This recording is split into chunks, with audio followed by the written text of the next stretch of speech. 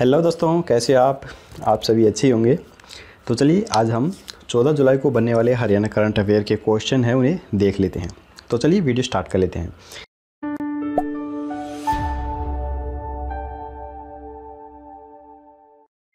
यहाँ पर पहला प्रश्न है, हरियाणा के किस विभाग ने अपनी सभी अधिकारियों को टैब देने का निर्णय किया है? तो पहले मैं ये बता दूँ, टैब होता क्या है? टैब मोबाइल से थोड़ा सा बड़ा होता है सात इंच से जो ऊपर का मोबाइल्स होता है, उसे टैब बोला जाता है। तो ये जो टैब हैं, ये हरियाणा पुलिस विभाग को दिए जाएँगे। आप देख सकते हैं फ़ोटो में, ये इस प्रकार से होते हैं। तो इनका काम क्या होगा, वो भी मैं आपको बता देता हूँ। पुलिस आधुनिकीकरण के तहत सभी जाँच अधिकारियों को टैब दिए जाएँगे। इससे किसी भी मामले की जाँच शुरू होते ही अपराध का पूरा ब्यौरा तुरंत ऑनलाइन अपडेट करना होगा। टैब मिलने पर पूरा पुलिस विभाग ऑनलाइन हो जाएगा, जिससे जहाँ काम में तेज़ी आएगी, वहीं गलतियों की संभावनाएँ नए के बराबर हो जाएँगी।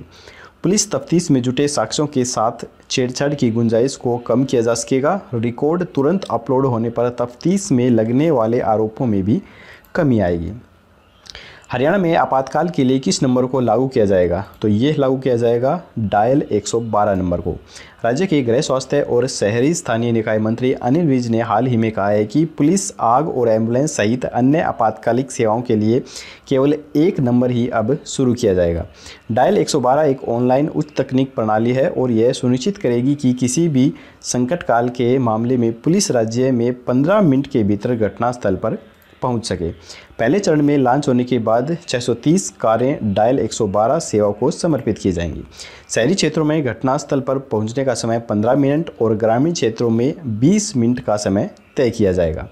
हरियाणा पुलिस ने कहा है कि डायल 100 को अब 112 में बदल दिया जाएगा। हरियाणा में छः सौ अड़सठ किलोमीटर लंबी रोड बनाई जाएँगी। यह रोड देश के कितने लोकसभा क्षेत्रों को जोड़ेंगे? तो यह जोड़ेंगे छः लोकसभा क्षेत्रों को। केंद्रीय सड़क एवं परिवहन मंत्री नितिन गडकरी 14 जुलाई को बीसी के ज़रिए हरियाणा में बनने वाले आठ नेशनल हाईवे समेत 11 सड़क परियोजनाओं का उद्घाटन करेंगे। डिप्टी सीएम दुष्यंत चौटाला ने बताया कि प्रदेश में नए हाईवे का निर्माण किया जाएगा, जिनमें छः लोकसभा क्षेत्र कवर होंगे, जिनमें पंजाब और राजस्थान को भी इनसे जोड़ा जाएगा। हाल ही में मुख्यमंत्री मनोहर लाल ने हरियाणा के कितने जिलों में मेडिकल कॉलेज खोलने का फैसला लिया है? तो ये फैसला लिया गया है तीन जिलों में। सिरसा, कैथल और यमुनानगर के अंदर। इनके अलावा मुख्यमंत्री मनोहर लाल ने रोहतक में स्थित पंडित भगवत दयाल शर्मा प्रास्तनक्स आयुर्विज्ञान संस्थान में डीएम कार्डियोलॉजीज का पाठ्यक्रम शुरू करने की अनुमति भी दी है। इसके साथ साथ मुख्यमंत्री ने एक उपमंडल सिविल अस्पताल, एक सामुदायिक स्वास्थ्य केंद्र और एक प्राथमिक स्वास्थ्य केंद्र और एक उप स्वास्थ्य केंद्र को उन्नत करने को भी मंजूरी दी है। सिरसा में हरियाणा कृषि विभाग विश्वविद्यालय की ज़मीन पर मेडिकल कॉलेज स्थापित किया जाएगा, जबकि कैथल में सरपण खेड़ी गाँव में यह मेडिकल कॉलेज की स्थापना की जाएगी और यमुनानगर में पंचायत की ज़मीन पर मैरिज मेडिकल कॉलेज की स्थापना की जाएगी। रोहतक पीजीआई में डीएम कार्डियोलॉजी कोर्स भारतीय चिकित्सा परिषद के द्वारा चलाया जाएगा। जगाधरी के उपमंडलीय सिविल अस्पताल को उन्नत कर 100 बेड के अस्पताल में बदलने को मंजूरी भी मिल गई है। पलवल ज़िले के होडल स्थित सामुदायिक स्वास्थ्य केंद्र को 50 बेड के सिविल अस्पताल में बदलने की मंजूरी भी मिल गई है। करनाल ज़िले के संभली गाँव में स्थित प्राथमिक स्वास्थ्य केंद्र को सामुदायिक स्वास्थ्य केंद्र में उन्नत किया जाएगा। पंचकुला ज़िले के बत्तौर गाँव में उप स्वास्थ्य केंद्र खोला जाएगा। पलवल ज़िले के खाम्बी गाँव में प्राथमिक स्वास्थ्य केंद्र खोलने को भी मंजूरी दी गई है। इसके बाद है, शिक्षा विभाग ने पहली बार हफ़्ते के किस दिन को नेशनल एडवेंचर कैंप शुरू करने का फैसला किया है। तो ये फैसला किया है रविवार को। कोरोना महामारी के चलते इस साल राज्य के स्कूल में कक्षा नौवीं व ग्यारहवीं के विद्यार्थी नेशनल एडवेंचर कैंप के लिए राष्ट्रीय शिक्षण संस्थान पंचमढ़ी, मध्य प्रदेश नहीं जा पाएँगे। ऐसे में शिक्षा विभाग पहली बार विद्यार्थियों की छुट्टियाँ एंटरटेनमेंट के अनुसार कुछ नया सीखने के लिए हर रविवार को नेशनल एडवेंचर कैंप के द्वारा दो घंटे ऑनलाइन शुरू करने जा रहे हैं। इस एडवेंचर कैंप में यूट्यूब पर मूवी सक्सेस स्टोरी और बच्चे अपनी प्रतिभा का प्रदर्शन का आनंद भी ले पाएँगे और विद्यार्थियों को पंचमढ़ी के एडवेंचर कैंप को भी दिखाया जाएगा। इसके बाद है, हाल ही में किस राजमार्ग को राष्ट्रीय राजमार्ग की जगह स्टेट हाईवे बनाया गया है? तो ये बनाया गया है राष्ट्रीय राजमार्ग 148 बी को। राष्ट्रीय राजमार्ग 148 बी नारनौल, महेंद्रगढ़, दादरी तक का हिस्सा स्टेट हाईवे हो गया है।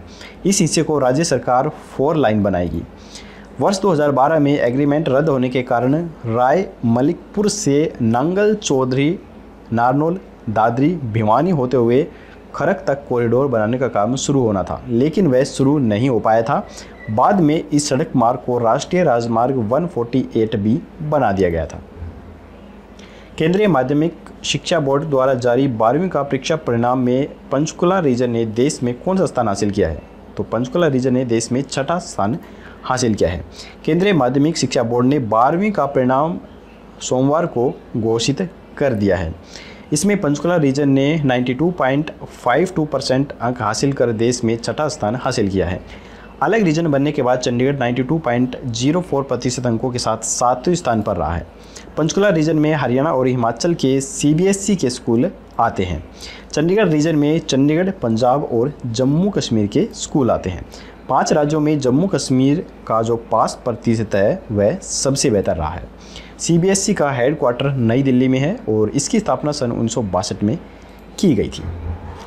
हाल ही में हरियाणा सरकार किस ज़िले में कर्फ्यू लगाने पर विचार कर रही है? तो यह कर रही है गुरुग्राम, फरीदाबाद, सोनीपत और झज्जर के अंदर। दिल्ली से सटे चार राज्यों में हरियाणा सरकार कर्फ्यू लगाने की तैयारी कर रही है। हरियाणा के गृह और स्वास्थ्य मंत्री अनिल विज ने इसके साफ़ संकेत दिए हैं। सरकार गुरुग्राम, फरीदाबाद, सोनीपत और झज्जर ज़िले में कोरोना के बढ़ते मामले को देखते हुए यह कदम उठा सकती है। हाल ही में हरियाणा के किस ज़िले में सघन सैंपलिंग अभियान चलाया गया है? तो ये चलाया गया है अम्बाला में। कोरोना की चैन को तोड़ने के लिए स्वास्थ्य विभाग की 10 टीमों ने रेलवे रोड कपड़ा मार्केट में अग्रसेन चौक के पास सघन सैंपलिंग अभियान चलाया है। नई मार्केट से बारह सैंपल लिए गए हैं। एक दिन में इतनी बड़ी संख्या में पहली बार सैंपल लेकर नया रिकॉर्ड बनाया गया है। हाल ही में भाजपा सदन मंडल का महासचिव किसे नियुक्त किया गया है? तो यह नियुक्त किया गया है बी एस बिंद्रा और संजीव सोनी को। भाजपा सदर मंडल की कार्यकारिणी की घोषणा मंडल अध्यक्ष राजीव गुप्ता उर्फ़ डिम्पल के द्वारा की गई। बी एस बिंद्रा और राजीव सोनी बब्बू को महासचिव बनाया गया है। अनूप चोपड़ा को कार्यकाल प्रभारी बनाया गया है। तो ये थे आज के करंट अफेयर के क्वेश्चन। अब हम देख लेते हैं दोस्तों कल का क्वेश्चन कल हमने आपसे पूछा था हरियाणा के किस ज़िले में एमफिल टावर व पीसा मीनार के अजूबों का निर्माण किया जाएगा। तो काफ़ी सारे स्टूडेंट ने बिल्कुल सही आंसर दिया था। लेकिन जिन्हें नहीं मालूम है, उन्हें बता दूँ, इसका आंसर है गुरुग्राम। फ़र्स्ट वाला इसका राइट आंसर है। तो चलिए, गुरुग्राम में सुभाष चंद्र बोस पार्क में वेस्ट मटेरियल से इन अजूबों का निर्माण किया जाएगा। शहर के विभिन्न चौराहों पर भी कबाड़ से अनेक चीज़ों का निर्माण किया जाएगा। दक्षिण दिल्ली के वेस्ट टू वंडर पार्क की तरह शहर के कई इलाकों में ऐसा निर्माण किया जाएगा। ये सभी अजूबे डे और नाइट विजन के हिसाब से बनेंगे, जिन पर करीब ढाई करोड़ रुपए का खर्चा आएगा। तो चलिए, अब हम आज का क्वेश्चन देख लेते हैं। आज का क्वेश्चन है, हरियाणा के किस ज़िले में पहली बार सुपर विलेज चैलेंज प्रोजेक्ट की शुरुआत की गई है। तो इसका जवाब आपको हमें कमेंट बॉक्स में करके बताना है। कल की वीडियो में आपको इसका आंसर मिल जाएगा। तो दोस्तों, अगर आपको वीडियो पसंद आई तो लाइक ज़रूर कीजिएगा और अपने दोस्तों के साथ शेयर करना बिल्कुल मत बोलिए हमारी वेबसाइट स्टार्ट हो चुकी है, लेकिन कुछ अपडेट्स अभी भी बाकी हैं। लेकिन आप करंट अफेयर्स और काफ़ी सारी जानकारी हमारी वेबसाइट से पढ़ सकते हैं। हमारी वेबसाइट है डब्ल्यू इसका लिंक मैंने वीडियो की डिस्क्रिप्शन में भी दे रखा है, आप वहाँ पर जाकर भी इसे ओपन कर सकते हैं। तो चलिए दोस्तों, कल मिलेंगे ऐसी एक और नई वीडियो के साथ। तब तक के लिए जय हिंद, जय भारत।